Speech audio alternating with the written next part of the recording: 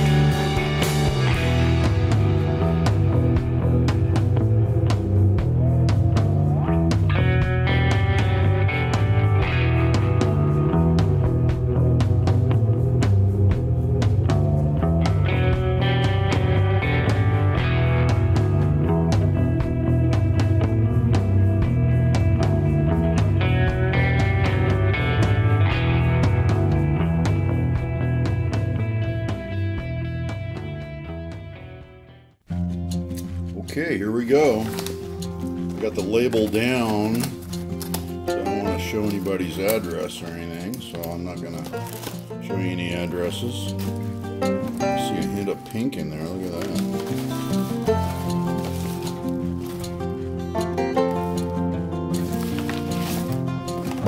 Says, I'll be waiting for the return prank. Old iron shops.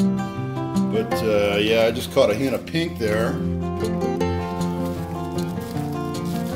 So let's see what our mystery tool is. We already know the colors. Right up my alley. Yeah, it's Hello Kitty pink, alright. Yeah,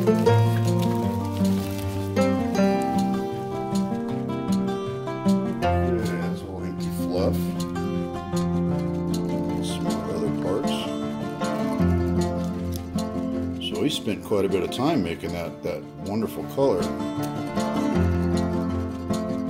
I'll let you have a good look at that. And this pattern doesn't split yet, but the split line on it, right down the center here where this pattern breaks in half. And it kind of looks like an old steam iron, doesn't it? Look at that pattern there. That profile.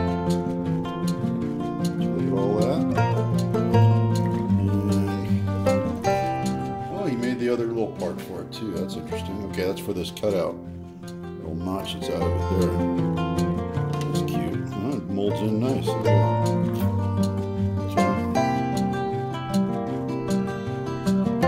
Okay, well that's all I'm going to show you. We've got a two-piece right there. Alright. Got the base, bottom, got the handle.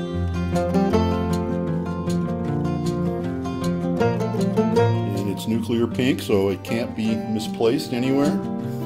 And I'm going to check this for size, fit, form, and function in all respects. He said I could drill holes in this if I need to. There are a few holes that need to go in it to do what I need it to do. But uh, best guess, you know, what is this thing? Good look at it. I'll keep spinning it around so you're happy. You can pause the video anytime. What a great choice of color. Hey man, where's my sparkles? I didn't get Hello Kitty stickers and I didn't get any sparkles.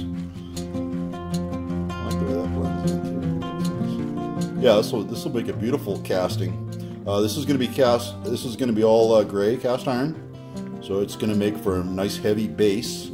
That's what it is. It's a base for a tool. And there's other uh, elements that uh, go onto it. But uh, your best guess? What is it? What what is Stan building? All right, uh, that's all I'm going to tell you for now. Uh, first one to guess correctly gets uh, some free anchor loop shipped to him. Uh, thank you, uh, Chris Anderson, and thanks for watching.